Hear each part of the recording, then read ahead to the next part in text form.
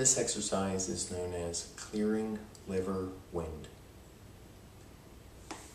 Sit on the floor, straight up, take your hands, overlap just the first part, hold them in front of your abdomen, and what you'll do is slowly turn to the side,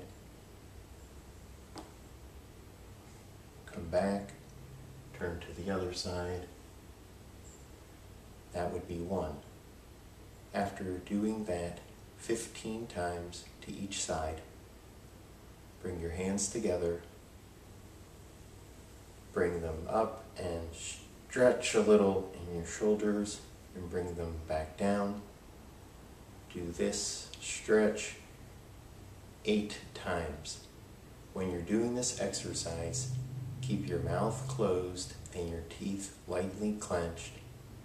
At the conclusion of doing this part eight times, open your teeth, chomp them down, swallow the saliva, and then sit and relax and meditate for a minute or two. Thank you.